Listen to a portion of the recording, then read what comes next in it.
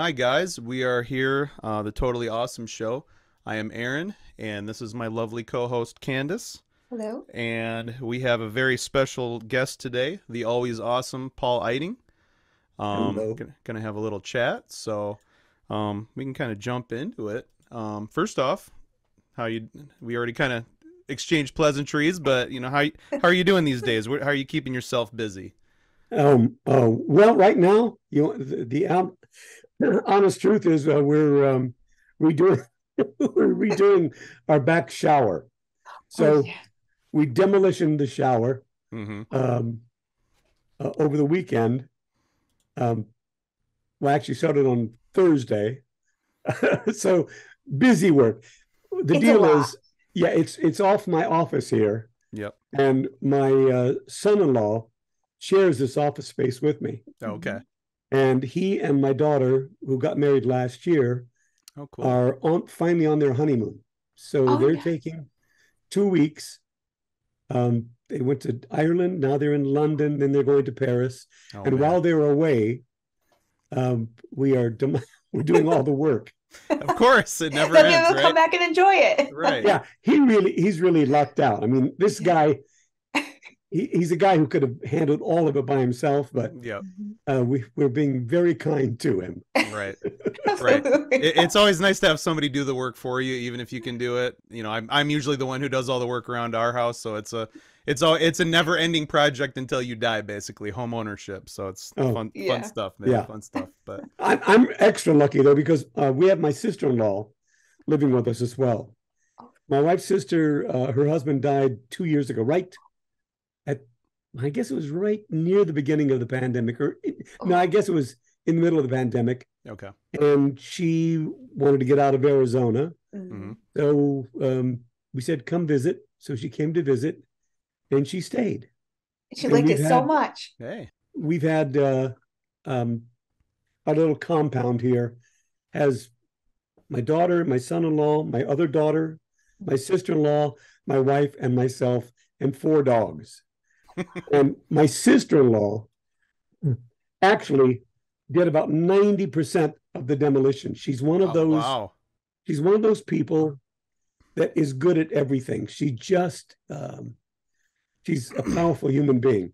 Yep. And uh, people say, "Are you really bummed that your sister-in-law is living with you?" It's like, No. absolutely not. She's she's amazing. That's Yep. awesome. She helped awesome. she helped build the tiny house we put in the back behind the pool. Cool. She she's just much handier than I am. Yeah. That's yep. awesome though. That's awesome. Yep, Yeah. that's that's very cool. My mom's actually the same way. She's very. I actually, I we were just up uh, in our hometown and uh, stayed with her. She's Candace stayed with her mom, and I stayed with my parents. And uh, I help them install a, a mug rack. And my mom, you know, typically, you you know, I'd be volunteering, doing all the work, all the measurements. She had all the boards cut, everything ready. I just had basically I had to operate the drill, you know, and and pretend to help her. But she she had it. But I thought, hey, I'm here. It's fun. We haven't done a project in a while, so. Yeah, we we had to do repiping. We uh, piped uh, um, all copper into the back bathroom because it's a long distance. yeah And we put in a, one of those um, uh, a new uh, water heater, Uh huh. Oh yeah. instant on, and a Yeah. recirculation thing, all that. Yep. And the guys came in and they kept looking at me to Yeah. wanting to. And I said, "No, you're looking at the wrong person. Right. The Mhm. person who She- really knows this right. stuff. I'm an actor. Right. I can right. act like I know what I'm Right. talking about. Right. Right. He knows. Yeah. So I said, deal with her. exactly. Yeah. I can I I can play a general contractor on TV, but she's the actual general contractor. so Exactly. Talk to her. Talk to her. Yep. Very cool. Yeah, that's we we know about that. We've we've been in our house uh, close to two years now, I Mhm. think, and it's Yeah.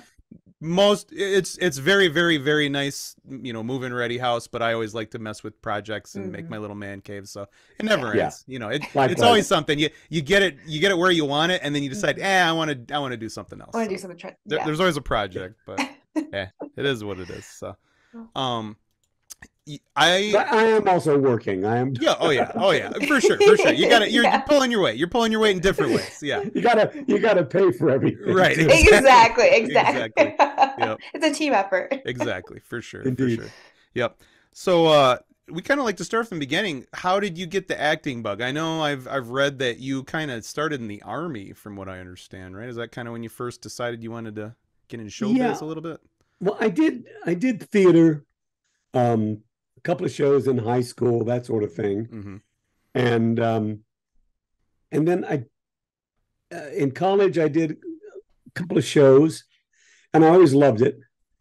Um, and then uh, I was a music major, and the school where I was going had a terrible music program, so I dropped out and said, "Okay, now it's time for me to join the army," because everyone in my family, um, all the men, served, and it was just one of those things that you did. Mhm. Uh, m- real blue collar uh, folks, Yep. and so uh, it was my time to go in. So I, I joined, Mhm. and um, somehow got lucky enough to be sent to Germany. And when I was in Germany, uh, they had a. Uh, I was in the Third Infantry Division, which is the Audie Murphy Division. The most decorated soldier in, of World War II Mm-hmm. Mhm. was from Third Infantry. Mhm. And when I got in, they had a um, what do you call it? Uh, yeah, orientation sort of thing. And they were asking, they asked if anybody played an instrument or sang. And I did both. I played a string bass, uh, an electric bass, and I also sang. Mhm. Um, so they they pulled me out of the, the group, and I went into a room, and I met a gentleman who was sitting at a piano, and he said, uh, "Don't tell me your name. I'm guessing names. My real name is not Paul. My real name is Otis. Mm-hmm. Otis Eiding, Otis Errol Eiding. That's pretty funny. Errol. That oh yeah, Otis was her grandpa, and Errol is her dad's real name too. Yeah. So that's yeah, Get out of here. yeah, yeah, that's Yep. for real. yeah. But everybody called yeah, everybody called him Rick. So Yeah, everybody called him Rick, but his real name was Errol. yep, Yeah, I was named after Errol Flynn. yep, Okay. My dad So- too. yep. Yep. Same. Yeah. There so, uh, so I went into the room. I never, I was never crazy about Otis. I don't know why, but I went into the room and he said, "I'm, I'm guessing names. You look like a Paul." And I said, "Cool." So from that moment on, I never changed it legally. Mhm. Mhm. But anybody who calls me Otis now is either trying to sell me something Right, right, Now you know. or knows me from uh, before the military. right, Mhm. right. Uh, so I got into the group as a singer and a bass player. Within about six months, I ended up uh, being the director of the group, uh, the Army Chorus, and um, I, there was a, a gentleman in the group. Most of these guys were drafted. Mhm. Uh, you had to audition to get into the group. Mhm. Most of them had been drafted. Several had been actors and mu- uh, musicians in New York, Los Angeles, or Chicago, or whatever. Yep. And there was a gentleman by the name of um, John Hancock, um, very large African American dude. He was about six three, with this incredible basso voice. Oh, And John was in the original cast of um, Roots Oh, way back when Yeah. it was done. Yep. Well, we would perform, and after you perform, uh, you're still up. The adrenaline is still pumping, Right. so you're not sleepy. You're not tired. You- We went back to the barracks, and we would sit and we would uh, either improv or we'd read plays. And we read a play called Zoo Story. It's a two-character play. And when I was finished, when we finished the, the thing, John looked at me and said, "You're an actor. This is what you should be doing." um, and I was a good musician, when I got out of the military, I started playing with guys who were just way too good for me, right, right. and I just didn't. I was playing jazz, and I just never had the ears Mhm. for it. You know, you got to have big ears to hear all the chord changes. Right, right. I could read charts, you know, but I so I said I'd really have to woodshed to get better.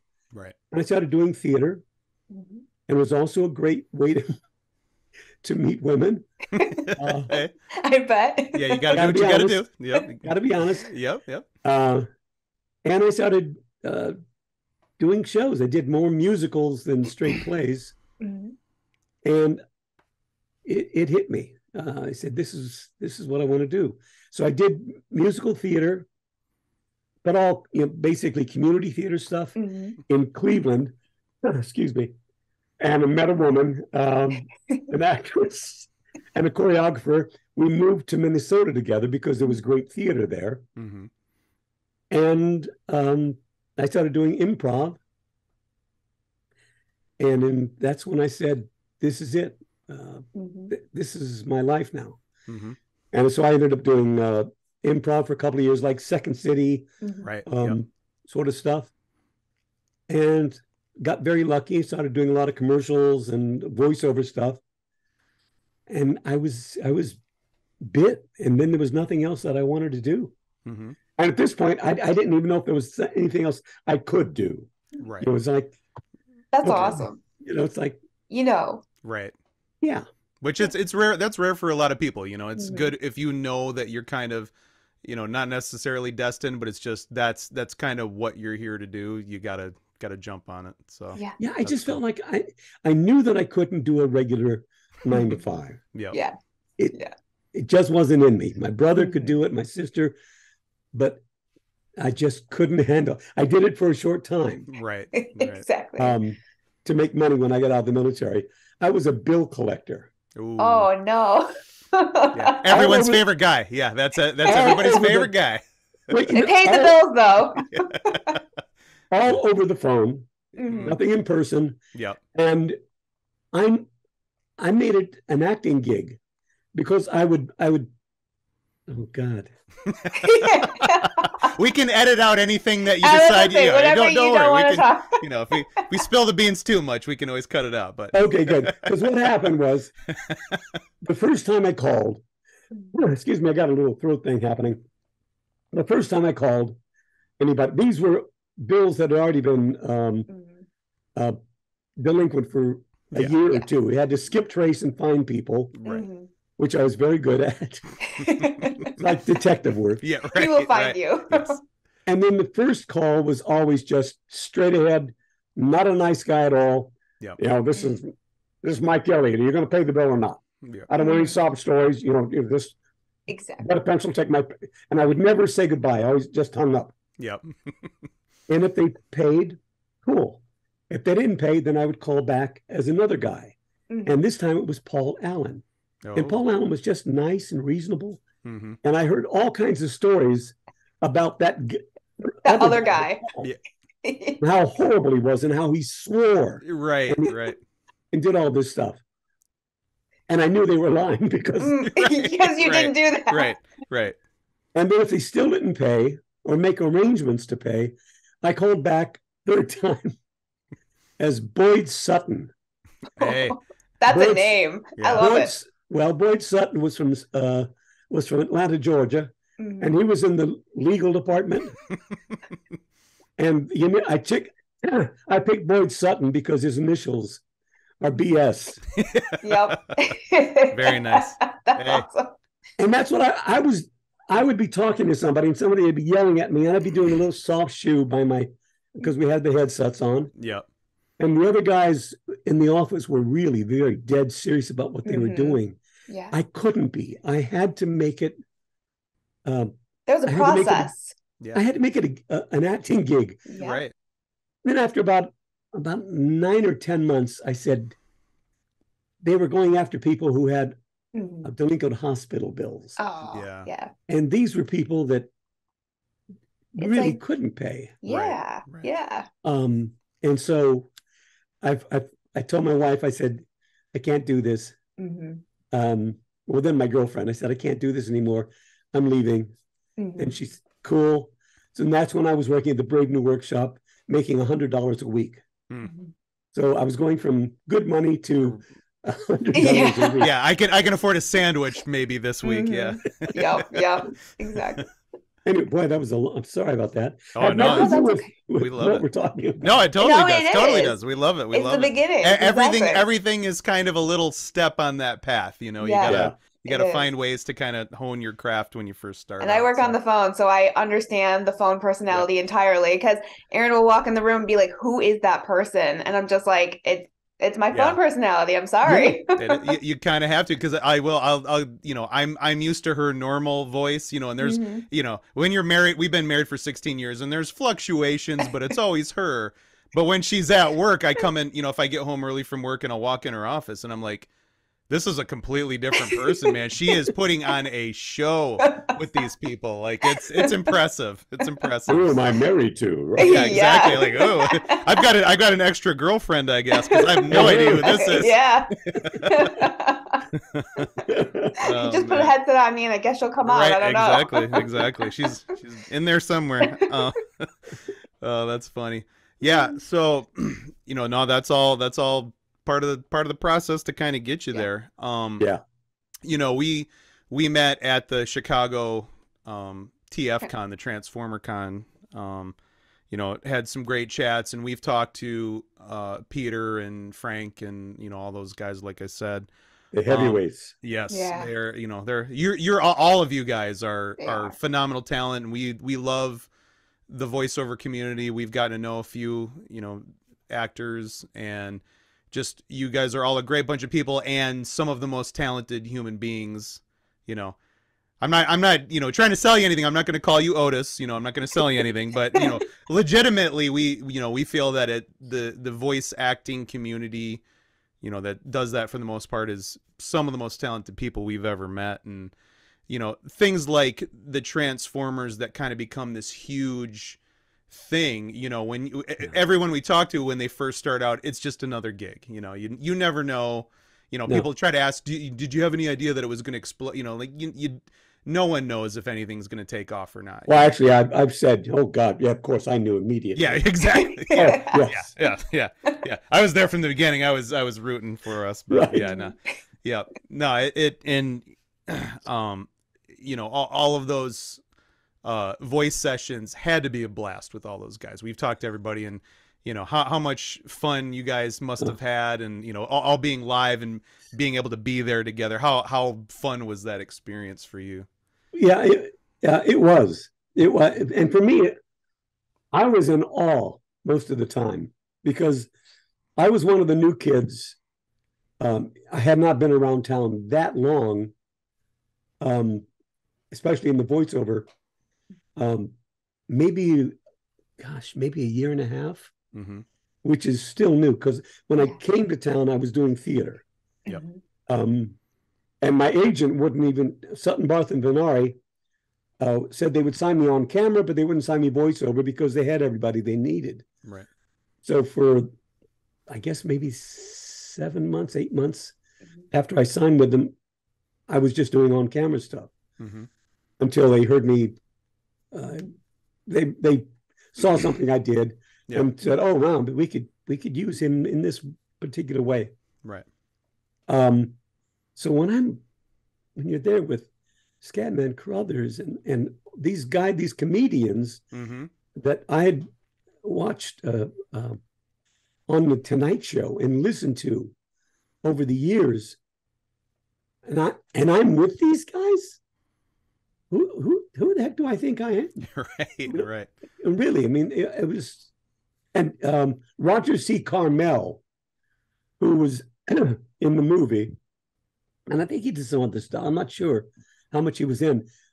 Roger C. Carmel played a character on um, Star Trek. yep Mhm. Yep, Mudd. Yep, Harry Mudd. Harry I Mudd. my dad was a huge Star Trek fan, and I I told him that you know you don't put two and two together when you're a kid. You know, and this is pre way you know when I was growing up in the '80s, pre-internet. Right. But I always kind of I was good with voices because I love doing goofy voices, and you know I'm a cut up too. So, you know, I kind of thought that, but knowing that, I told my dad that years later. I said, you know, a couple of the characters in Transformers after the in the movie and after. It's Harry Mudd, man. He's like, that's amazing, you know. And then you and then you hear it, and you're like, oh yeah, it totally is. Yeah. He's just doing a Yeah. little slightly different accent or whatever. But Right. yeah. and, and Chuck McCann, who was uh, it, it, incredibly fun. I mean, all those guys. Yep. Uh, now, Greg Berger never really impressed me. I, I never really liked him that much. I do this all the Same. I do this all the time with, with Greg. Uh, I think because I, I love the guy so much. Right, right. Uh, and we we started. I think I may have told you before. we started doing theater together. Okay. Mhm. Yep. The first show I did when I moved to Los Angeles in '83, Mhm. Cloud 9 hmm Uh, he understudied me Mhm. and another character, and uh, you should see him in drag. Oh, He was not the most attractive uh, young woman. You know, I'm I'm friends with him on Facebook too. I'm gonna ask him to send me a old. I see if he has any any photo evidence. yeah. We gotta we gotta see that. So, Yeah, uh, uh, I posted a couple times a picture of of me in drag because I played the little girl right, with him behind me being a kind of a jerk with a cigarette right. and a couple of the other bad guys. Yeah. Um, yeah, but the, you know the cast was was amazing, Mhm. and yeah, we we wasted a lot of a lot of tape Yep. back in the day Right, right. with laughing. You know, it's Oh like, yeah. Yep. You gotta enjoy it though. Yeah. oh god, yeah, That's what that's what you know. We talked to Dan, uh, like I'd said before. We were at a con in Cleveland two weeks ago, and Dan, um, you know, the I I actually asked in his panel, you know, what we we talked quite a bit about stuff, but I actually asked that question, how much work actually got done on any given day, you know, because I can I can only imagine because that's I think besides the fact that guys who are good at voice, you know, the acting, voicing characters who are also comedians, they kind of have this cynical Yeah. worldview that actually helps to create characters because they mm-hmm. understand you know to be really funny a lot of guys are poking fun at the world in general and i think that really translates Yeah. to helping understand a character and and, and being empathetic because you kind of see everything Mhm. more than most people do i think and and i think you got a bit of an edge there, there Right. That helps. for sure you know. for sure for sure Yeah, Yep. Yeah. So that's yeah, that you know, kind of that that's the going thing and and one of the things you said about, you know, thinking who am I in this, you know, group. Everybody we talk to, they say the exact same thing. So Oh. you're in you're in good company. I think they all felt felt that way getting started. They thought, Mhm. you know, my goodness, these guys are just, you know, they're eight different characters and I couldn't, you know, if I wasn't watching them, I wouldn't even know that they were it was the same guy because they're so good, but I mean, they're all I, I, I got to tell you, uh, I love it when somebody comes up to me and says, "Oh, I didn't realize that was you." right. Yeah. it makes me Yep. feel so good. It's so good. Yeah, cuz there That there are makes me- yeah even i mean there's a lot of there's a lot of actor you know we say there's a lot of you know a-list celebs that are just paid to be them basically and they're Yeah. you know some people have a great voice and that's cool that they're used for their really you know distinct voice but i think that's the highest compliment is oh i Mhm. didn't even know you were in that because your vo- you were so good at that character Or- i had no idea it was you Or if I knew, I forgot it was you Right. as I was going through the story. Right. So, yeah and then I'm like, oh yeah, that's right. yeah yeah, yeah. it's it's so much fun. Uh, the ones that kind of irritate me is when someone said, um, "Oh God," it was a character I did in. Oh, it was Perceptor, Mhm. and then he heard me in um, Incredibles Oh yeah yep Yep. and he said, "I knew that was you." like he sounded like, "What? right How is Perceptor anywhere near?" right you know, um, the the little guy from uh, Incredibles 2. It's like, yeah, uh, I yeah, I can't remember his name either, but I know exactly. Yeah, he was one of the villains, right? Yeah, he was one of the the the. uh Yeah, no, actually, he, no. he- he became a villain because Yeah. they, they Yeah. put Right. the glasses on him. Right, right, Yeah. right, right. Yep. Yeah, yeah, yeah. Yeah. Yep.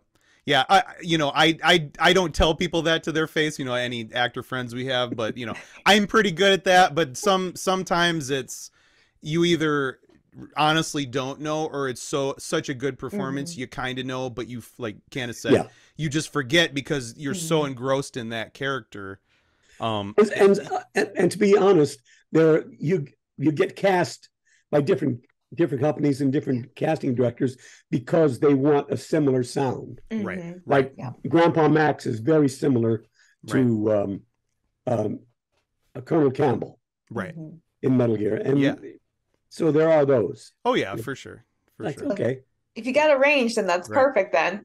we've we've talked to Nolan quite a bit about that, and uh, you know he said, I you know he, he his least favorite roles probably are the ones where it's him or Nathan Drake. You know, it's because he's got you know so much range too. You know, you want to step outside, you get kind of typecast because you've got a great voice, but you Right. want to you know you want to really push the the boundaries and i think that's the cool thing about voice acting is you literally can be anything you know We, yeah, we've had we've you know frank has said you know you could some of these guys you know you could play a, a toaster oven and be riveting you know and that's that's you know i think probably i would imagine probably the most fun is just being you know something way out there and really pushing yourself Yeah.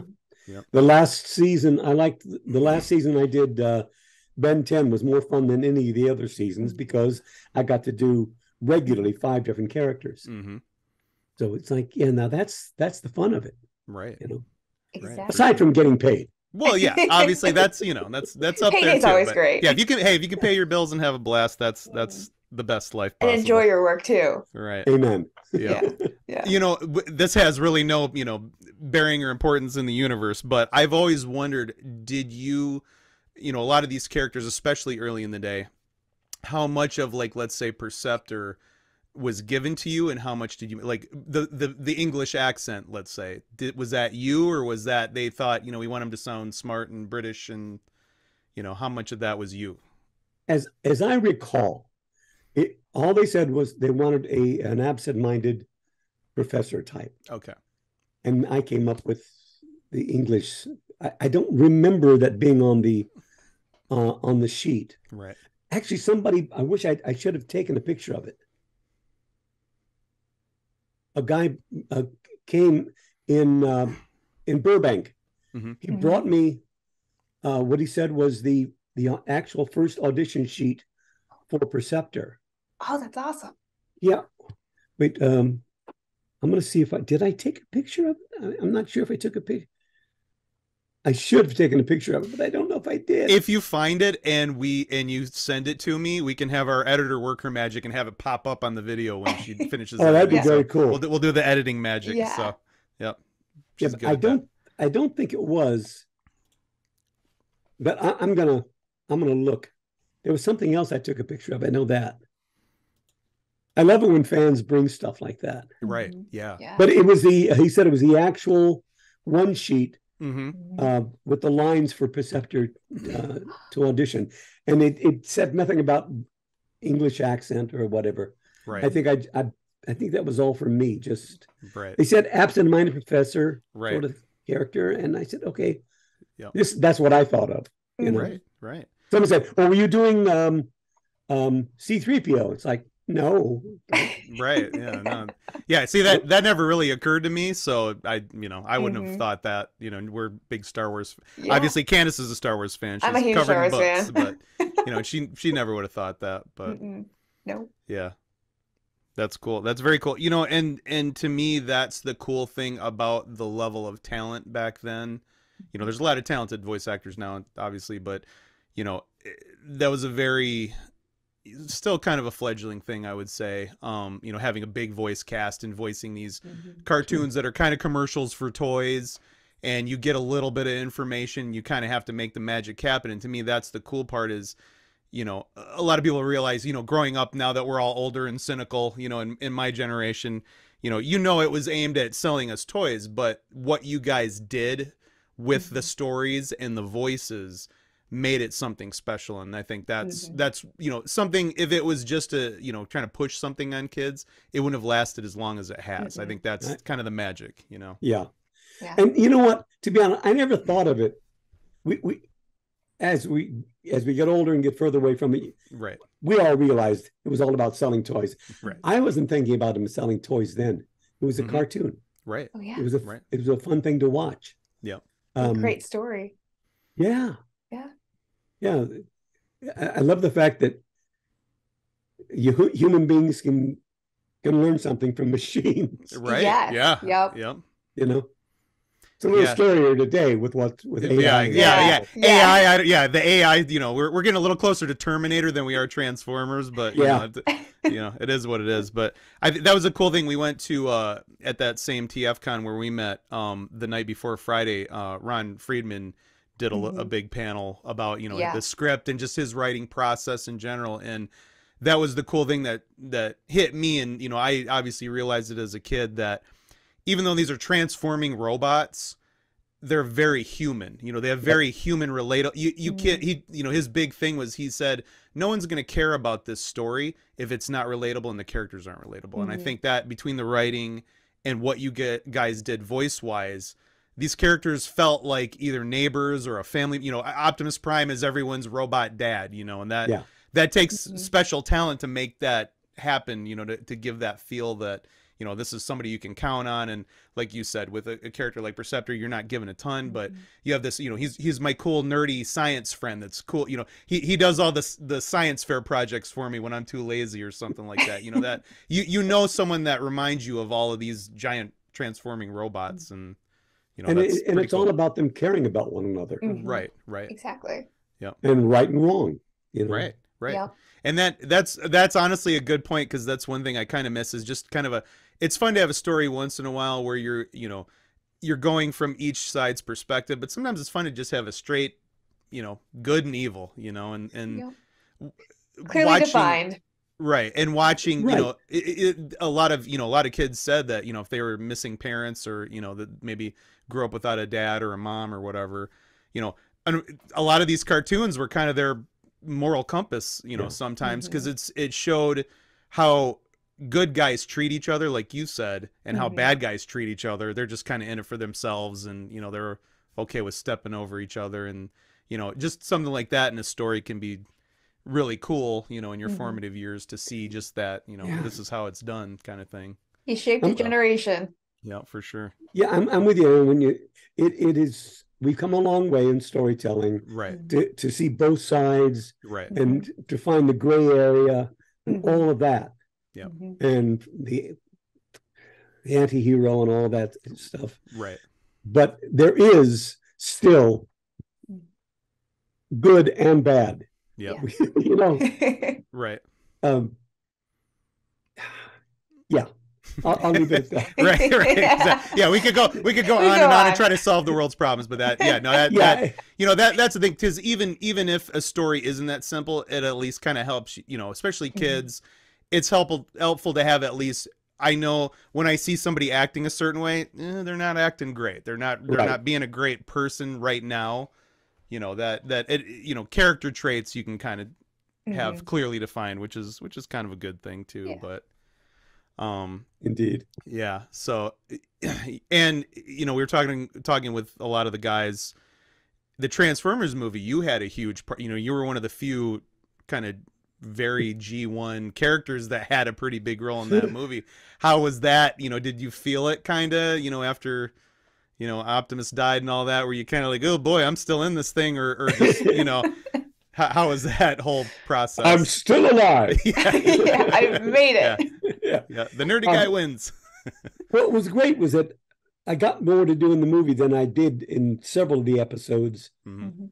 th- through the season. So that was wonderful. hmm Um, yeah, and and the fact that that I lasted uh, um, was was pretty cool. Yeah. Um, I, I I don't know. I do get.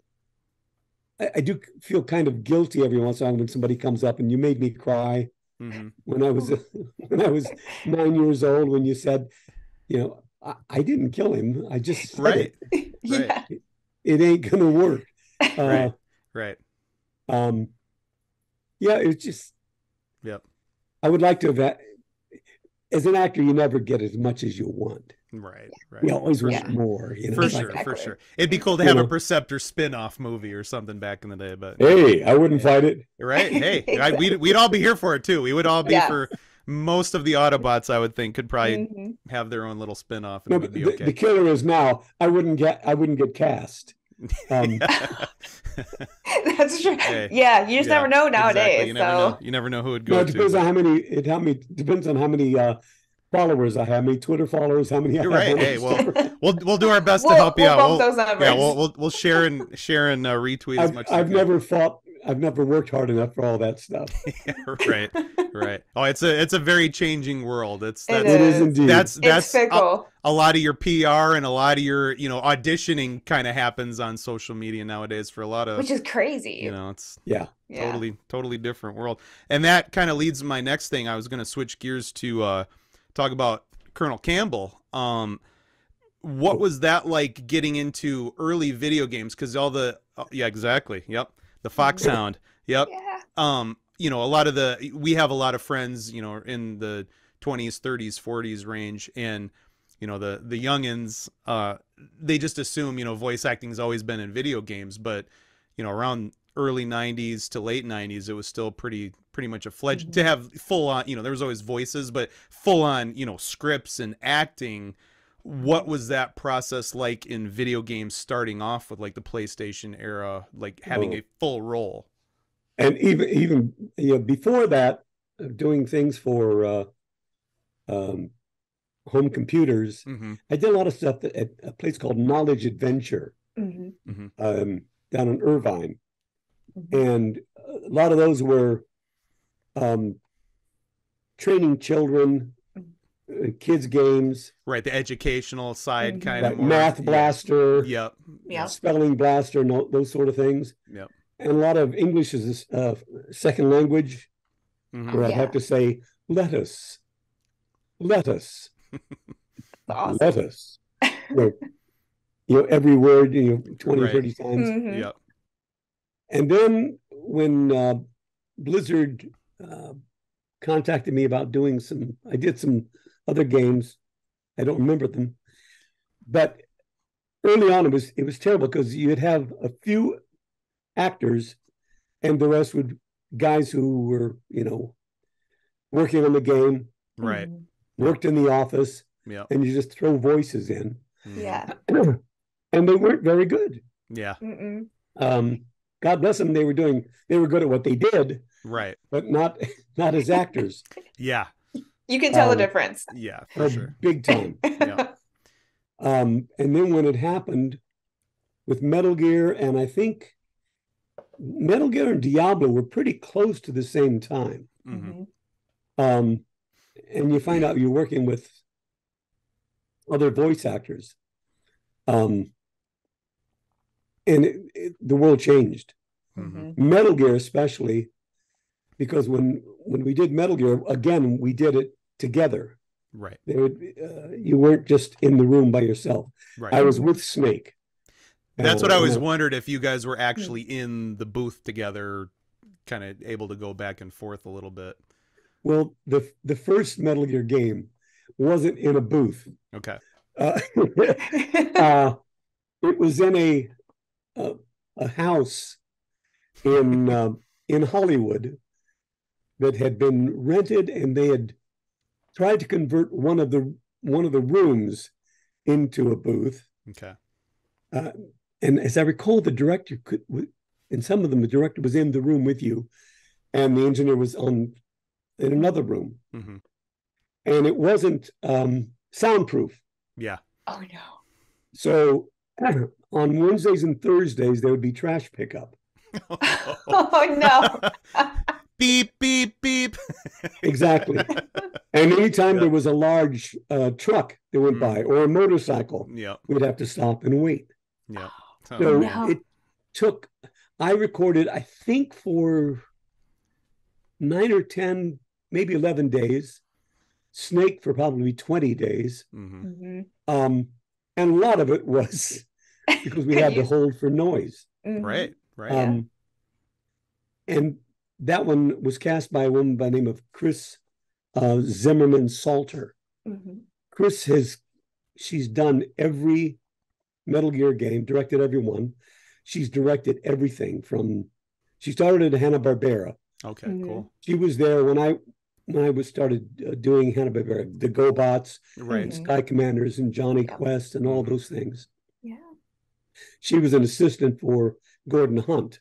hmm and Gordon Hunt is responsible for three or four of the best um, voiceover directors, Andrea Romano and Kris and several others. Um, and she's the one who uh, it wasn't her choice to record there. Right. She had no choice. Yeah, it was kind of guerrilla style back in the day. I would imagine a little bit Yeah, getting started. was. Yeah. Uh, but then, uh, what, three years later, when we did two, she uh, got them to go into a real studio Yep. Good. to Good. save time and save money. Right. She was like, Um, "This is taking way too much time." Yeah.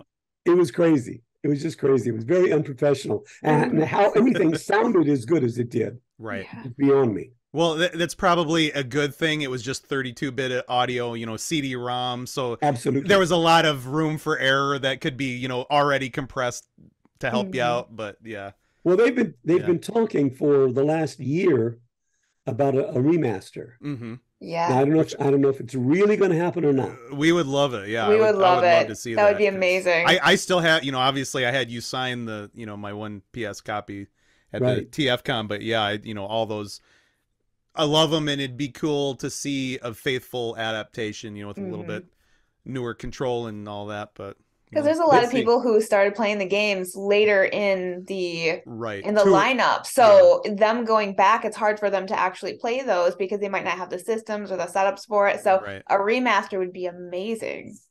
I keep hearing it's going to happen. yeah, well, Uh, I did a um, uh, a photo shoot with uh, with uh, Snake, with um David and Kemai and uh, Good. um, Liquid. yep. Our Is buddy it- Cam, yeah, we love Yeah. Cam. And he's Yeah. got a book. He's got a book coming out, Oh, cool. Oh, and he nice. wanted to take some pictures of all of us. hmm Um, God. and there's still talk about it happening. I don't know. Yeah, Nobody yeah. knows for sure, but That's it. there's scuttlebutt. No, yeah. I hope so. That's good. That's good. We'll make For some sure. noise about it then. Yeah, we'll for pu- we'll sure. push that on Twitter. Yeah. Because I've heard um, several people have come to me and they, they only one they played is four, Yeah. and, and they want to go back. Right. Yeah. Right. But Yep. like you said, you know, do we have the system? Yeah, do we have the system? Do we have the setup? And then it's hard because people aren't used to the old controls and the old way that, that the, the systems Yep. do. So if you don't grow Right. up on it, it's a huge learning curve. Right. Yeah, Yeah. Yep. so fingers crossed. Fingers Yeah. crossed. That'd be that'd sure. be great. Yeah. I'm That'd be sure. awesome. I'm sure it would it would do well. I mean, people It would do very well. you know the, yes. the metal gear solid series i Mhm. think uh, you know a lot of games in that playstation era again because of the improvements in the systems and the voice acting and the performances Mhm. kind of changed the entire face of Mm-hmm. video games you know what i mean it was more fun mario bouncing around and now you have a story where you are the character and Mhm. you know Yeah. feeling what they're feeling because of the performances and everything so Yeah. you know I, And for me, it always starts with the word. yep Kojima-san was just, uh, you know, yeah his mind just blew me away. oh it, crazy Absolutely. yeah You know, Yep. Yeah, he he is a definite. Ge- I mean, you know, cra- crazy genius if you want to call him that, but he's, you know, totally next level. You know, beyond what most Mhm. storytellers, you know, probably would even dare to go. You know, he he goes there and, you know, his and narrative beyond. style, yeah, way Beyond. beyond. Yeah, his, Yeah. his narrative style and you know that the whole kind of going meta but still keeping it an interesting storyline is a Mm-hmm. Yeah. very fine line you know where you could lose people but i I think he does a, a good job with that Mhm. so Yeah. yeah Yeah. yeah um that was another thing we are going to talk about is you know the whole you were on ben 10 for quite a while how how was that whole experience like you said kind of later on you got to do more stuff but you know again hugely talented cast you know up and comers i'm sure kind of around that that time frame but how Oh, how was that experience uh, it was wonderful. Um, th- uh, that's still one of one of my favorites. hmm Uh, we did it on and off for 10 years. Mhm. Um, I loved working with Andrea Romano, Kris Salter, and um, and RC yep directed the last. his yep last one. yep yep It was weird to ha- to have, have to re-audition for my my role, Mhm. right which which is kind of strange. Yeah. I got it. You know, Yep. that's good that's you good know um, what time had passed, five years had passed, and all that Mhm. stuff. yep So I, I it was fine. I love doing the show. I love the character. I love everything about it. Um, and the cast. When they brought this this guy named Eric Bauza mm-hmm in, who was this new kid in town from Canada. yep I hate Canadians because they're so damn talented. i know hey Um, i'm i'm part french canadian so i have half of the talent so uh, yeah, it's like he and David Kaye. I'm Yep. sick of these people. And Tara, I, I Yeah. know. Oh yeah, Tara, yeah. We we saw Tara in your hometown too, and you know, Yeah. yeah, she's no nobody should have that much talent. You know, No. It's not it's not fair to the rest of And us. It's not- energy. She has so much energy. Oh yeah, yeah. I'm, what I'm really happy about is that she's happy Yes. Yes. in, her, in Yeah. her own life now as well. Exactly. Yep. Yeah, I Yes. just for lo- I love her. Yep. Um, but Eric, nobody really knew who Eric was. Right. Mhm. Uh, and he comes in because he had done some uh, animating or drawing Mhm. um, way back when. He comes in and he starts doing these characters, and they said, "Well, can you do this guy? Can you do that?" And anything? Yep, here it is. And I told him then, I said, "Man, you're you're going to blow up. You're just going to blow up Yeah. because And now he's Bugs Bunny. He's everything." Yeah, he's he's all those guys. Yeah, he's all. and he deserves it. Yep. He's just so, and he's a dad. He's got this Mhm. great, great kid. Aw. Uh, yeah, he's, um, yeah, he's something special. Yeah, And for you, sure. you saw it immediately right. in Mhm. studio. It's like, Yep. okay, nobody We- knows him right now, but they will, They right. and now they do. for Yep. For sure. There there are some people like that where you you know the frank welkers and and more you know my age bracket uh hanging out with Ro- ross marquand. Some of the impressions and stuff you know some people can just abs not just the sound but the whole persona. And Mhm. you you know even joking around they, they might do it as a party favor but Right. it takes you there. You know that that is Mhm. when you know somebody's got it whatever it is. When they when you instantly are like wow yeah that was that was the for the five seconds you were jokingly doing it that was that character or person or whatever that's Yeah. pretty A awesome friend of mine, when, when I first moved out here, uh, we became close really quickly because we were in a play group together. Mhm. The name was Tony Pope. Mhm. Tony Pope uh, was he was in everything that Disney did. Mhm. Uh, he was at uh, he played the in the uh, at oh god I'm trying to remember which one the Alice in Wonderland. hmm Uh, he was the voice of not um of the king. Little oh yeah I- yeah yep and he's he for a while bef- uh, he was goofy for a while. yeah yep Yes. Mhm. Um, he passed away in, in his fifties. Mhm. but he's one of those guys that, like you're talking about, you'd say, "Hey, uh, George Burns, George Mhm. Burns, hmm Hey, goofy, goofy, just anything." Yep. Mhm. Uh, Yep. It was a massive. He got me into uh, uh, doing um, Disney voices when I first came to town, hmm and I'll never forget him for it. Um, but he's one of those guys that could do anything, like Eric. Yep. Mhm. Unfortunately, he just um, passed away way too young. Aw. hmm Yep. Yeah. yeah Heartbreaking. But now his daughter. Mhm. his daughter is like that. oh cool Uh, she's on Instagram. She, I, it's got I don't know a million followers now or something like that. oh that. wow Wow. Yeah. Um, Marcella Lentz Pope okay is her name, Marcella, um, and and it's basically she just does all these different voices, and she'll take uh, English actors and do this is so and so doing this. right right She's one of those. She's just got it. yeah That's know. awesome. Yeah. Yeah. That that's really cool and that and honestly that's important and you know uh, you know growing up with animation and video games and stuff I've always been into the artistic side cuz I draw but like I said I lo- I love to do voices and imitations and stuff too.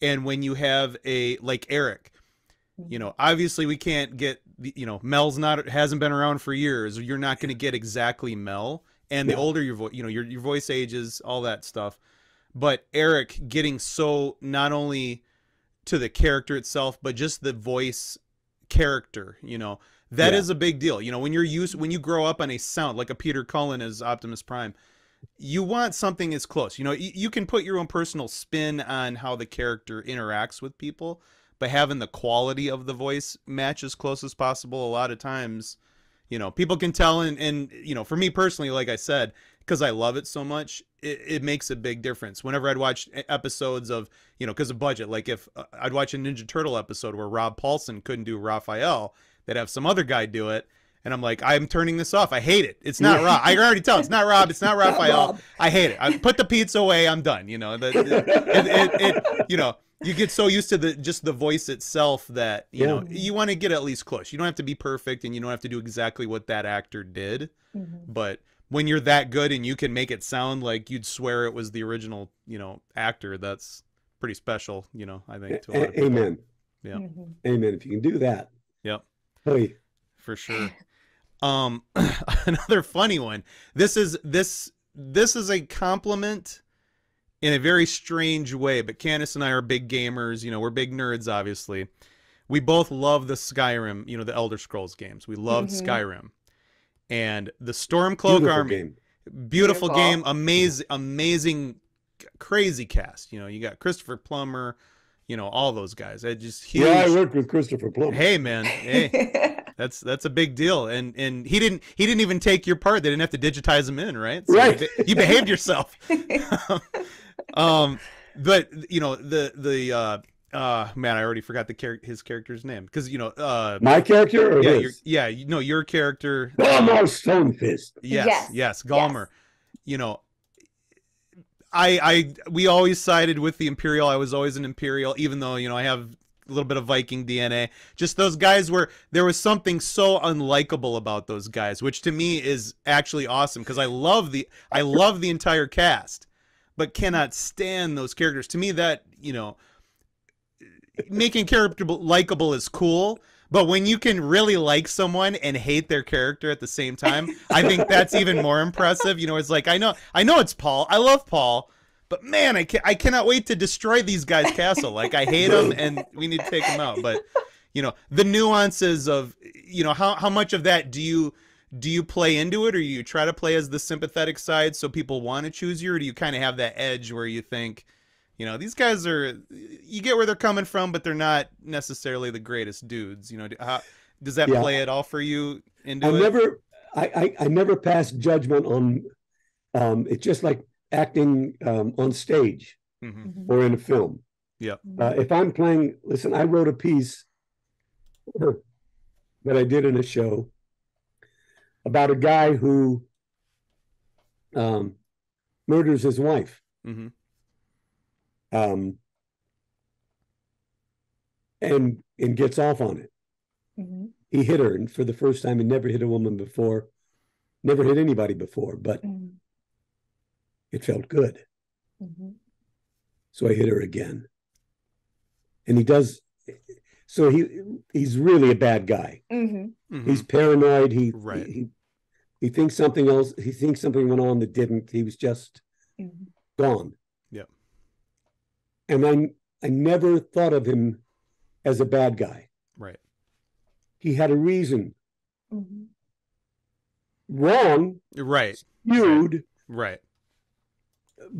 but bad guys don't go around and say, "Hey, I'm going to be a bad guy." Right. Right. They Exactly. feel that they deserve, Right. you know, to be who they are. Mhm. So with Galmar or or any of any of the bad guys, even Mephisto, Mhm. Mhm. you know, um, they don't think of themselves as Right. uh, being evil. Mhm. Exactly. Um, it's for other people to decide Right. Yeah. whether I'm bad or evil or whatever. Right. Right. Not for me. Yeah. So I just I you know I try to put whatever humanity Mhm. uh, I can find right. into those characters. Yeah. And that's You know what I great mean? storytelling. Yeah. Yes. Because, you know, you we might judge them as bad, but they don't think that. So it's also very interesting to see from their perspective, like their justifications for their, you know, actions. So I always enjoy that because I love a good bad guy. I want to love a good bad guy because it's you really see that other perspective as well. Yeah. Yeah. You know, um, no, I've never watched it. I get, I've, I'm one of those. I'm going to watch it probably now. But Succession, Mhm. Mhm. those Mhm. shows. Yep. Um, Yeah. I, I, I never watched uh, Breaking Bad until it Oh, was yeah. well off the air, Right. Mhm. Right. Yep. Yeah. and and and fell in love with the guys. That is Right. a great Right. story arc. Oh my goodness. Oh, Right. Right. turned into horrible human beings. Right. Yeah, right, yeah.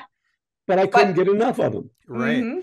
And like you said, you know, like we talked earlier, sometimes it's fun to have the good versus evil story, but Mm-hmm. Life is often way more complicated than that. And people, Yeah. you know, Yeah. we all do things whether we, you know, we may even know they're not the greatest, but you know, we may think the end result will make up for the couple Mhm. of bad things we had to do or you know like that's that's most of you know most historical rulers didn't go in thinking you know i'm a murderous tyrant i'm trying to help Right. people and unify Mhm. people it just a lot of people are dying on the way to get there so Yeah. you- Oops. yeah, Yeah, yeah, oops. oopsie, yeah. Bunch of dead bodies later, but we're all one country and we're all happy, right, guys? You know, Yep. yeah, yeah. Which th- to me, that's you know the the interesting stories, and again, I think it's fun to let, especially for video games, let the player decide what their personality type is and who they, you know, if they had to do bad, both sides are doing bad things to each other. What what end result are you shooting for versus what I might think is you know the and better where's the line? right Yeah. Yeah. Yeah. So that For or the sometimes it's fun it's fun to just hack your friends sometimes you know and you- they Hey. deserve it you know hey, for the record, I my first playthrough of uh, Skyrim, I ended up uh, siding with the Nords. So, and then I saw that how that turned out, and I was like, oh, well, I guess my next one's going to be the Imperials because I thought I was doing a good thing here. right oops. Oops, Yeah, again, oops. again, hey, yeah. But they did have they. You had a cool bear hat, so that at least was something. You know what I That's mean? Yeah, the if hat you've was got cool. if you've got the accessories, that you know, He I had a can cool side with you a little outfit. Yep, for I sure. love when people uh, they would contact me regularly and say, um, "You know, you're the guy in the ice cave, right? Yeah, I yeah, you yeah, were. I, Yeah. I killed you. I Yeah, killed I you." said, I'm sorry. right, exactly. oh man, yeah. I felt so bad too. I was like, I don't. I was like, is there another option? I was Yeah. like, I don't want to do this. No, no, Yeah, I love Yeah. I love doing him, Yeah. and I love the uh, the guys who do the the prank calls Mhm. With my characters. yeah, yeah. oh man. That's awesome. good stuff good stuff um you i know you've kind of the last few years you've been doing a couple like short films and things like that and i actually was able to check out frank and emmett and i thought it was awesome it's gotten really really rave reviews from everybody super high ratings um how did that project kind of come you know how, how do you get into like the short things and stuff like that nowadays like did you contact someone did they contact you or Nope, nope. Uh, it, an audition came up through uh, through my manager. Okay. And um, she sent it to me and said, "Would you be interested in doing a short film?"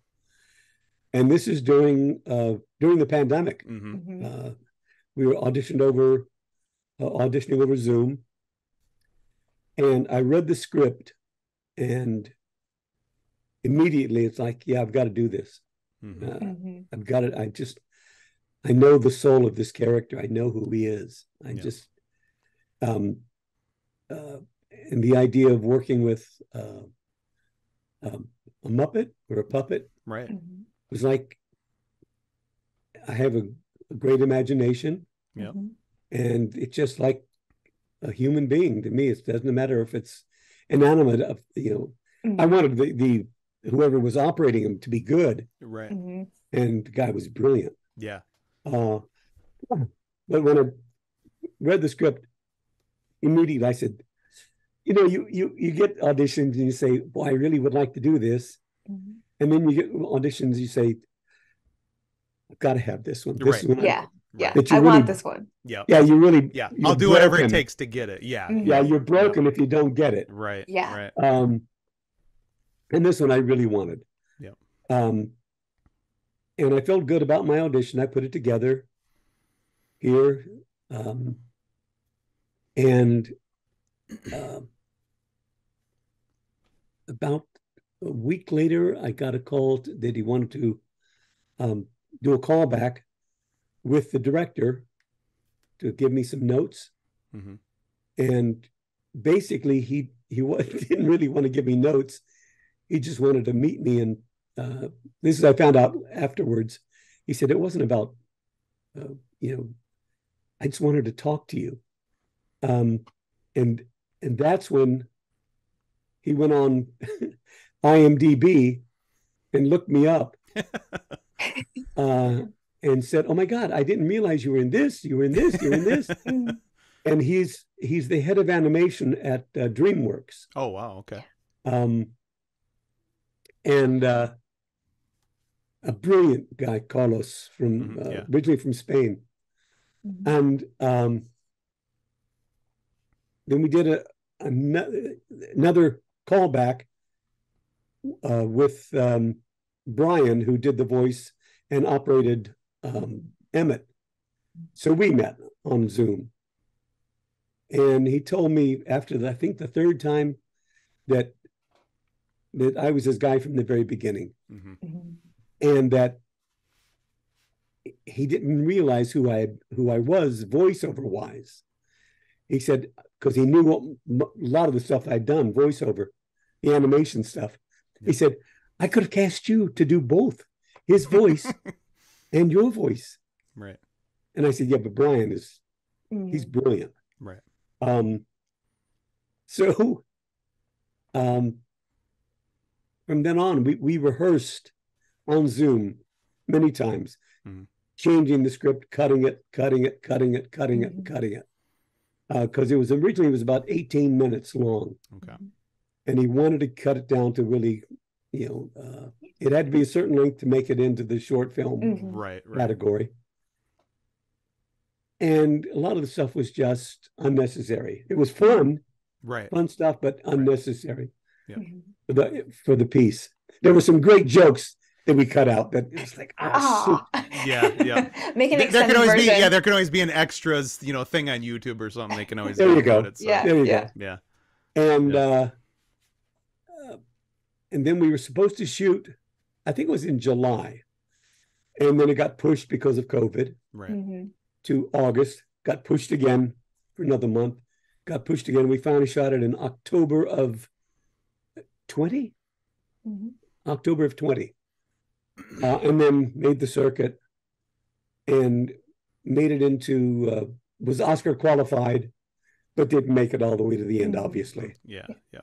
In fact, I just uh, was talking with uh, Carlos uh, about finally releasing it Mhm. online Mhm. Yeah, uh, so it can be seen again by Right. Yeah. folks. yeah. Um, Yeah, because that's And I- how I saw it. Was that that limited? You know, there was a limited release thing that Mhm. he was Right. pushing, and I jumped right on that to check it out. Well, I'm glad you did. I'm Yeah. really Yeah. glad you did. Yeah. I'm really proud of that piece. Mhm. Um, and I'm proud of my uh, my pandemic beard too. Yeah, I was gonna say that was that was yes. The facial hair was definitely that could have won its own award. Honestly, they Mhm. should have another category just for beards. Yeah, and I, I I think I told you I'd grown that for um I was doing a shake, I was doing a measure for measure hmm Mhm. at our theater, and then we were shut down Yeah. of Mhm. when COVID hit. But then I kept growing it. And then I had the audition, Right. and then it's like, and they wanted somebody with a big beard. So I just let let that sucker grow. There you go, man. You're like, There you go. okay. There you go.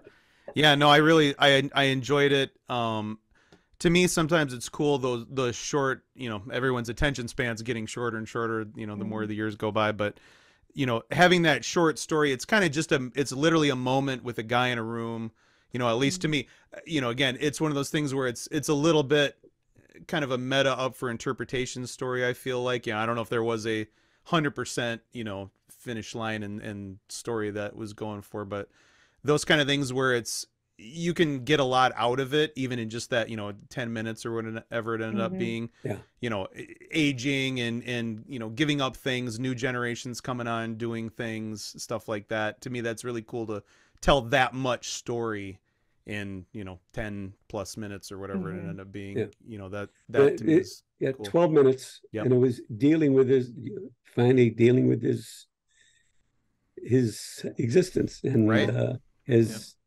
passing. Yep. So it's about all kinds of stuff. right Which is- right yep which Yeah. again is cool to you know have that much gravity in you know that many minutes is short story. really cool yeah Yeah. Mhm. He did. I think he did a great job, and Mhm. it was all shot. I think it's in his bedroom. Yeah. Oh, nice. Yeah. Yeah. very cool yeah Yeah. Loved it. Very Looks cool. beautiful. Yeah. love it no we'll try to get it but and it'd be cool if if they he released Mm-hmm. it or had it available you know to download somewhere or something that'd be Mhm. cool to have everybody be able to check that out um overall, you know, you talked about like Ben 10, the the last uh, kind of season run there. What overall is your favorite acting experience? It could be the project itself or just the time period, the fun you had with the cast. What do you what do you think is probably your most fun acting experience overall that you enjoyed? You mean in Ben 10? In anything, in In anything, Oh, anything. anything. yeah, in anything. There- All the projects. go go the whole span the Theater. whole career. Yep, Yeah. theater, anything. Oh, well, that it's it's it's it's easy. Um, it was the most it was the most difficult thing. Oh God, now it's tough. Now, yeah, yeah, yeah. You think you know until you really think about it. Exactly. like, oh, wait a think minute. Well, although, yeah, we got free I- pizza that one that one gig. You know?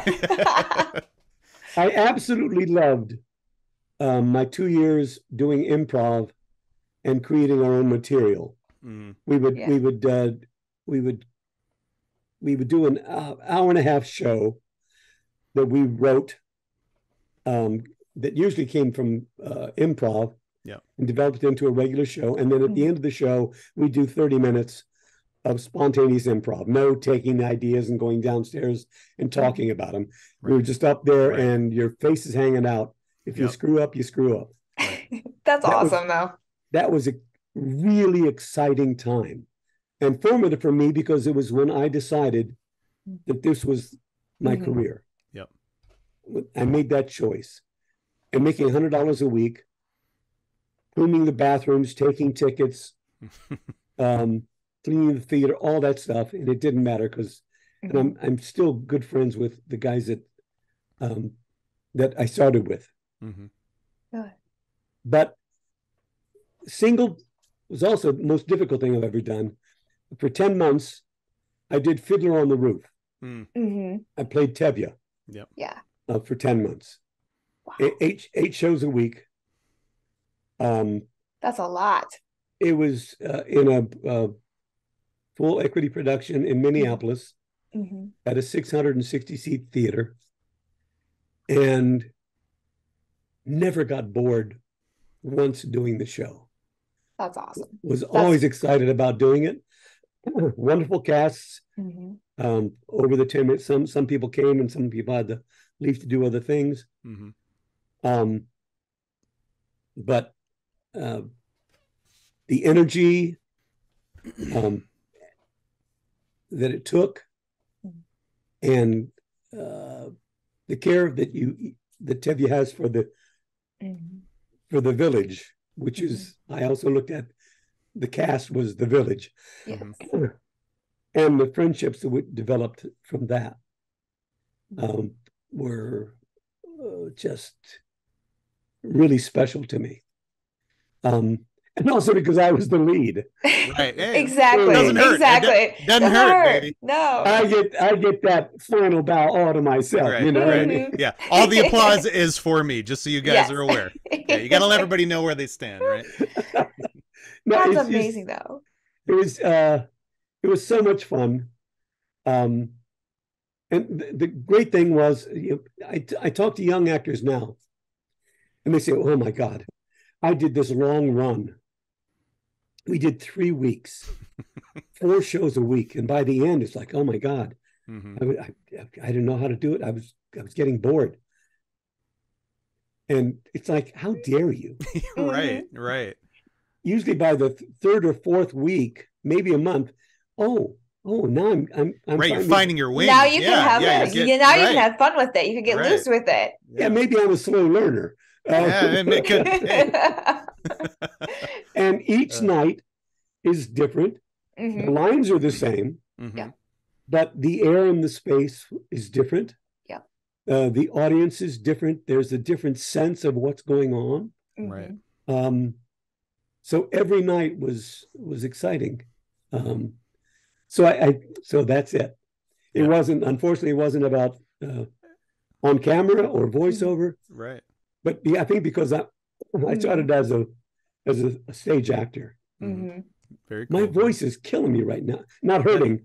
It just Right. makes me makes me angry, and it's because of all the I, I was gonna say Right, I auto was gonna- construction. Yeah. I know all about that. We we Oh, I completely remodeled and gutted the upstairs and half the downstairs of our old house yeah. where we Oh my lived. It was built in 1880, so I have no idea what kind of things are growing inside me to this day. Like it's yeah. you know asbestos mixed with you know We didn't have that. Oh no, there's you know brick brick mortar in the in the sea. I I know all about it, man. You breathe some of that stuff, and it's like, well, I'm going to die within the week. So. Yeah. everybody. Yeah, it's been fun.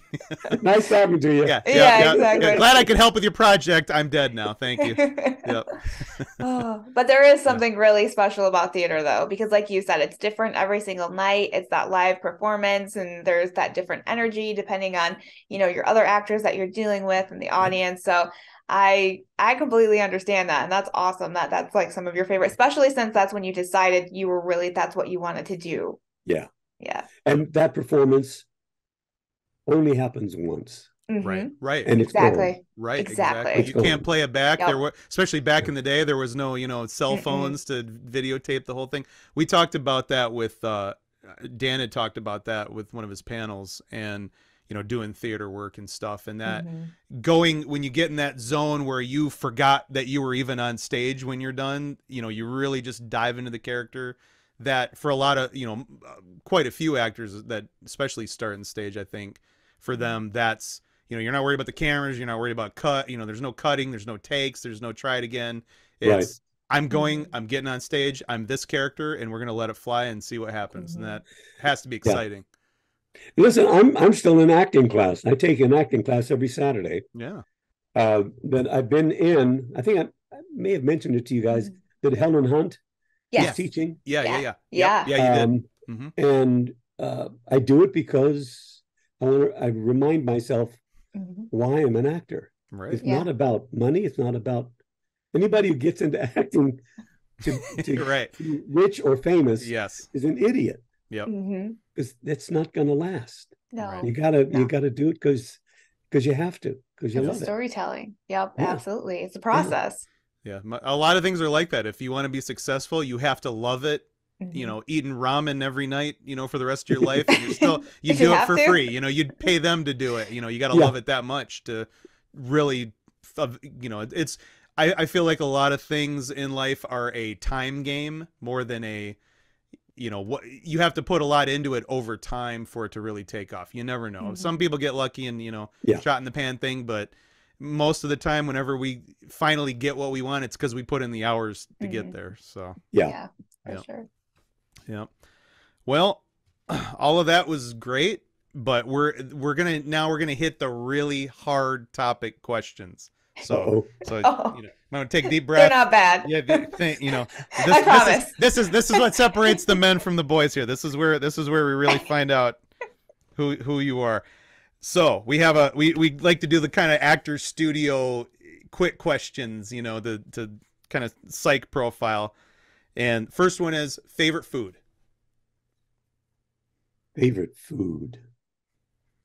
I, this is the Um, deep stuff i told you Yeah. these are the tough Yeah. ones Well, you've seen me. Uh, just about anything. No. Uh, oh, well, um, Thai. Ooh, Oh, yeah. that's a good one That's a good one. I love. Uh, and, um, yeah, Thai Thai food. I I love. Um, tom kha soup, tom Mhm. kha kai, Mhm. and I love I love pineapple fried rice. yeah. They give me a hard time. uh, You know, I I don't know that I've ever tried that. That doesn't. The older I get, I used to as a kid, I hated sweet and savory like that. But the older I get, I really like I anything with yeah. fruit and super Mhm. savory. I really tom kha really kai uh, soup. It's a coconut based Mhm. soup Mhm. with you know, and I get a little spicy. Mhm. not terribly spicy, Yep. but a little spicy, Yep. and uh, I can live on it. Nice. It's awesome. Nice. Very nice. Now this one's my favorite because I'm a musician too, and we had Dave Fennoy on for a while, and he's a huge jazz guy, and we I'm pretty sure we you know I I bored my co-host on that one because we went super deep into jazz fusion and all that. But um, what is your favorite music group? It could be a single person, a band, who, favorite musician or music group. No, I'm old school. Um, it's, there are two, uh, Stevie or uh, Earth, Wind, and Fire. Ooh, Yes. Yeah. I mean, there's so many. It's, Yeah. I it's know, really I- hard. There's a There I know is. there's a, there's a big list, but there yeah. Mhm. Bruce, uh, uh, my my daughter took me to see Bruce um, several years several years ago, and the dude went on for three and a half hours. Wow! And I never got we never got tired of it. Mhm. Um, so there's it's, it, that's a hard. One, I know man. it's a it It is, is. especially if you are a musician, you're the Mhm. whole world God. opens up and it's just like there's so many reasons to like a you know when you kind of know the background of music there's so many reasons to like a band or a you know a singer that maybe people don't understand what's going on behind the scenes but yeah. Mhm. yeah When I go to when I go to to uh, Motown stuff Mhm. or Earth, Wind, and Fire, that sort of thing, Mhm. Yep. because that takes me back to my youth. Yeah. Um, Yeah. And uh, my background is um, I'm from Cleveland. Yep. Mhm. I'm from the east side Mhm. of Cleveland, Mhm. uh, which was at the time, uh, it was, it, I mean, they literally wrote about us right being, it was the called the ghetto. Yep. Mhm. Okay. Um, the ghetto stretched from um, 55th to 105th, Mhm. and from uh, Euclid to Superior. Mhm. And our house was almost, almost, smack dab in the middle probably right yeah we were on 82nd and Wade Park. Mhm. Yeah. And that was my youth. Yep. Mhm. Um, and uh, uh, I loved it. I was a musician. I was I was playing with some. uh, you know, this is in high school and, and early college. Some good musicians. Yeah. Um, so that was R and B was was uh, my background. You Mhm. know. yeah We love Earth, Wind, and Fire. Yeah, we- so Yep, we uh you know I we told you we're we're living in Ann Arbor, Michigan now, but we you know we both are from Mhm. Michigan and uh you know the Motown scene and just the music scene period anywhere in Michigan. Mhm. You know there's so many musicians that came out here and we actually were fortunate enough to see Earth Wind and Fire in Detroit right before the Oh, pandemic. wow. yeah, at And Chene they- Park. Philip Bailey was doing things I don't Still- think he did in his 20s. Like the, the Mhm. falsetto high notes, I he they blew the I mean the dancing, the the the stage Everybody in the crowd was dancing. Yeah. It was the best concert I've ever been to, and I love Lady Gaga. I've seen her live, but Earth, Wind, and Fire was the best concert Yeah. I've ever been to. and Sheila E opened for them. So Yeah. it was Oh just powerhouse Yeah. Yeah, they just they they It was tore it rocking. It was They- they- jamming. They, tore it up. So Did I tell you my story about Prince? No. Hmm, Okay. I- yeah. Yeah. If I did, stop me. No, no, we'll we'll do it for the, everybody watching. We can Yeah. we can recap it. Okay. Yeah. So I was living in Minneapolis Mhm. and I was working, I did a lot of voiceover stuff at a little place called Moon Sound. Mhm. Chris Moon had this little converted garage and into a studio. And uh, I went to do my stuff and I was getting ready to leave. And as I was leaving, Chris came up to me and said, Oh, you got to come check this out. Check this out. There's a guy in here who does it all. And he's he's just a kid Mhm. and and he's he's he's going to be something special. And I went in, and he didn't see me. I was in the um, in the booth, and it was it was pretty dark, so you really couldn't get a good view. But he was I figure which I figure I think he was laying down a, a rhythm a guitar track. He had already done the drums. He had also done um, vocals and whatnot. And I had no I, I didn't I don't think he even called him Prince at that point. Mhm. Mhm. Um, but he said, "This guy is it. He's the one. He's he's he's got the he's the whole package." So I said, "Wow!" He said, that blew me away, and I left. And then found out it was Prince. Yeah. That's Um, amazing. I, I don't even remember what year it was because I was there in Minneapolis from from seventy. Moved there from in 73, Mhm. 73 to eighty three. Mhm. So it was in the seventies somewhere. Yeah, Yeah. yeah. Yeah. He might have still been with a group. I think he was playing with a group still like early to mid 70s, I think. So But he was he was in Yeah. there all alone. yeah, Yeah. okay. Yeah. recording his stuff, and Yeah. that's in Chris's uh, is the one who got him known, I guess. Mhm. That's such a cool experience. It blew me away. Yeah. Blew me away. It's Yeah. like, oh, A legend saw in the making. Yeah, I knew I knew Prince before it was cool. A legend of the making. That's You're right. amazing. I again, I called it. I, I called Transformers and I called Prince. So two for two now. I got to tell you, one of my uh, favorite uh, live concerts was um, in Cleveland. Mhm. Still, when I got out of the war, out of out of the military, and it was to see um, Sly and the Family Stone. oh yeah. But it was Sly and the Family Stone. Um, oh God, they did they did a vocal version of uh, "Grazing in the Grass." I forgot the name of the group. There were four groups. Um, three three black groups, including you know uh, Mhm. Sly, and the Box Tops. Okay, I remember them. Yep. Mhm. I wrote you a letter. hmm But I wrote you a letter. Da, da, da, da, da, Right, da, yep. da, da, da, da, da. Well, they were not a fan favorite because folks were there to see um, you know, Sly and the Family Stone Right. and R and B. Right. Mhm. Whoever booked them in this heavy R and B, Yeah. The, Did yeah. not do anybody yeah, any standard favors. rockers. Yeah, the, the the early rockers. and I felt bad for them, but they got kind of nasty with the audience because the audience yeah, didn't really want to hear. right. Yeah. Um, and we had front row seats, but the front row was about 10 feet from the stage, Oh wow. maybe 12 feet from the stage. Mhm.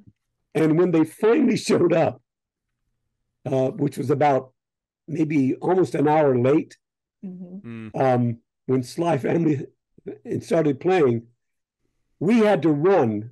It was the public auditorium in Cleveland. It was, I forget how many, couple thousand seats.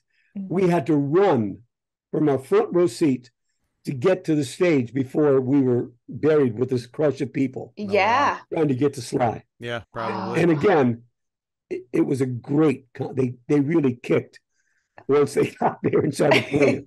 right. But it Oh, was yeah. a- Live concerts, That's Sweet. great. very Sweet. cool. Well, that's good good picks there. All right. Um so this one is dependent on if you are a, s- are or ever were a cereal eater. What do you think the best cereal of all time is? Oh, Raisin Bran.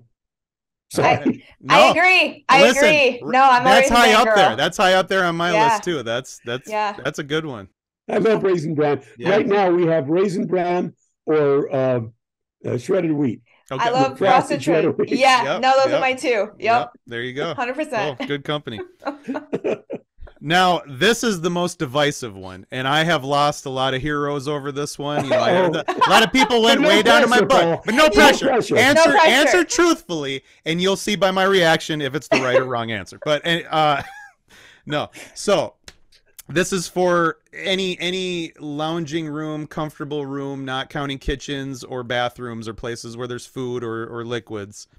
What is your preferred flooring type? Carpet or hardwood in a house, in a room? um, before children, um, before a daughter that had asthma, hmm um, oh God, Taking all the other equations out. No, don't worry about pets or anything like that. If you if you Oh. starting over in your own house, your your like living room, lounging areas, what's your preferred floor type? Well, if there was a throw rug here and there, it would be hardwood. 'Kay. Oh, sorry. All right. No. Well, I lost another hard- one. I lost another one today, I'm but it's okay, hardwood man. girl. It's I like hardwood, but Yeah, he's Listen, our, our the home we bought in uh, our first home together in Minneapolis. hmm Uh, we bought this home. Um, it's a great place. Two story, well, they're not three, three, three stories plus a basement. We bought it from a, a, a lady who'd been there for 65 years. She painted the entire house, um, like in, except for one, there was one room that was painted pink, was a sunroom, pink, and they painted a maple floor gray. Oh, no. And oh there was no. and there was green carpeting everywhere else. mm. There was a linoleum in the kitchen, and all the walls were painted this institutional gray, including this. They had a beautiful uh, banister going up the stairs Mhm. that had all been painted. Yeah. Oh So no. my wife and I bought it, and we stripped every piece of wood Mm-hmm. ourselves. Yeah. All the windows, all the scroll work on that banister going up the stairs, Yep. all the stairs. We redid all the floors, and they were uh, like a, a blonde Mhm. maple. Mm-hmm. Oh, that's pretty. It was almost swore. It was gorgeous. Yeah. It Yeah. was gorgeous. Oh, I'm sure. Um, But a lot of work. But hey, I mean, you restored it back to its original beauty. and the, the cool thing is, we did all that, just the two of us, and we stayed married. right. Uh, Yeah. That's the yeah. big one right there. That's yeah. the big one. when you do a pro- that's like Any like I said, project. we we we're we're going on 16 years in May, and we completely redid one Yeah. full and a half of a house. Basically, And we're still nine years of that marriage she was goes- some type of major re- renovation. She either goes and hides somewhere when I'm doing projects, or just goes out and Yeah. goes to see a movie or something. and I was just, like, I trust you, yeah. but call I'll me come call back me when you're done because I to can't do like the the painting and the minimal work because I can't do the big major construction. right? yeah, if you, if you can go through uh, home restoration or yeah. uh, any kind of remodeling and stay together, Yep. Yep. That, you're you're a- in it to win it. Yeah, for Right, sure. exactly. Yep, for sure. For sure. Oh. All right. Well, on that note, we'll let you go. We won't take up any more of Oh your no! but Yeah, he's so he's so angry now. Yeah, it is. No, Yeah, I actually, fine. I actually had a whole nother page of questions, but I'm we're we're done. I'm That's over. it. always the last one. It's funny because that's always the last question we ask. It is, and it's it's it's become basically a, a worse you know division than the Civil War was. It's you know it's team Team Carpet and Team Hardwood. Man, it, it's it's brutal. It gets brutal. So no. Okay, Yeah. who's who's Team Carpet uh, from the Transformers? Um, so far from the Transformers, I'm not sure, but we've had we've had a couple other people we've talked to that. Again, it seems like pets and kids are the big one that push Yeah. them over to the Yeah. hardwood thing. It's just easier Yeah. to clean, and I, I get that. I mean, we have one cat, but I still I prefer carpet. And if I'm gonna chill out, and and again, you know, I do AV for a living, so Mhm. the more you can deaden a sound in a room, like my theater area in my basement, it's Mhm. I fully carpeted just that section just for that Mhm. reason, and you know, yeah. everybody's every- everybody's different and Yeah, we we did that with we had a home, another home in in uh, St. Paul, Mhm. Mhm. and the reason we bought the place, uh, uh, it's, it's since we've been out here. The Mhm. reason we bought the place is that uh, the basement is completely uh, finished Mhm. and carpeted because Yeah. that's where I was going to do my recording exactly. Um, when I, when we were back there. Yep. I prefer carpeting in the bedroom. yes Mhm. That's Yes. it. there you go So when you, so when you get out of bed, yes you're, you're not touching. Cold floor. Minne- okay then we're then we're good floor. then we're we're friends we're friends again we're friends again It's a We're good. comfy room. yeah so. it is it is yep yep that that saved it for me so we're, we're fine then. No, No. no, wishy-washy Paul. Like, yeah there you go there you go oh, I can yeah. follow. Yeah, I, I. I do You like know- them both. I think the I think the hardwood was Otis talking to be honest with you but you know oh man good stuff Oh, um amazing. yeah so do you have any projects or anything you're kind of working on or you're just kind of doing doing your thing right that you want to tell everybody about or you just kind of Oh doing your thing right now anything just doing it. Um, I'm working next week, and well, I'm working the rest of the month. Um, but this is just more Netflix. Mhm. Um, it's a there was a a series called um, the wait a minute, Beauty Queen of Jerusalem. okay Mhm. It's the second season. Mhm. Uh, it's actually it's really good. Uh, I voiced a couple of characters through the first season Mhm. uh, last year, and they're finally finishing. Uh, they're sending the episodes of uh, season two, but it's just replacing a voice of a couple of characters. Mhm. okay Uh, but it's really well done. It, it's it's what happens. It's what's happening in in uh, Israel Mhm. in well in Palestine and that area hmm from the 20s to uh, the to the war to, to the Okay. 40s. Wow. So it That sounds really interesting. forth. Interesting. It's it really is fascinating, and, and the, the acting is Mhm. really good. Um, and one of the characters I I, I, I revoice is a really um some really serious stuff happens to him and his Mhm. family Yeah. with the uh, Holocaust and whatnot. yeah Mhm. So it's it's it's it's it's interesting to to revoice an actor Mhm. when you're not doing the actual Right. work Yeah. of it, but trying to Mhm. uh, Kind of match up ADR style. Yeah, but Yeah. the whole performance, yeah. yeah the performance more Yeah. so than Mhm. the, Right. the voiceover stuff because it's that that's what it's all about the performance. Right. So I want to do justice to this gentleman Right. Mhm. um, with with the English language, Right. Right. Yeah. Yeah. Very cool. Very cool. That's Yes. very cool. stuff like that. Cool. That's And I'm All right. going to uh, Fort Myers uh, for a con in on May 5th. I'll be down there Oh yeah. 5th, 6th, and 7th hmm for uh, what's it called? The Hero Con. Okay. Yep. Yep. Yep. Yeah. HeroCon. Everybody go see Paul. Yep. Yeah, come There say you go. hi. There you Yeah. go. It's great to see you guys. Love it. Yeah, Yeah, it's you good too. to see you too. Yep. Thanks for doing this. Yeah, this thank is you so wonderful. much. We'll we'll definitely Yeah. still we'll keep in touch, and I'm sure Mhm. hopefully it will be last time we hang out at a an event or something. So Yeah.